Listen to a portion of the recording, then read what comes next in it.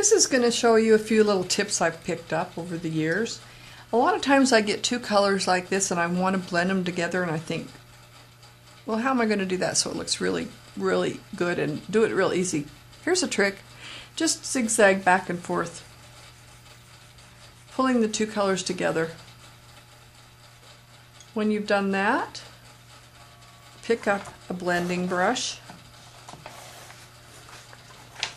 And one of my favorites is a Hake brush and blend. And you have two colors blended without a lot of problems. Looks pretty good, huh? Now, another little trick. A lot of people don't know how to scumble, so I'm going to teach you how to do that.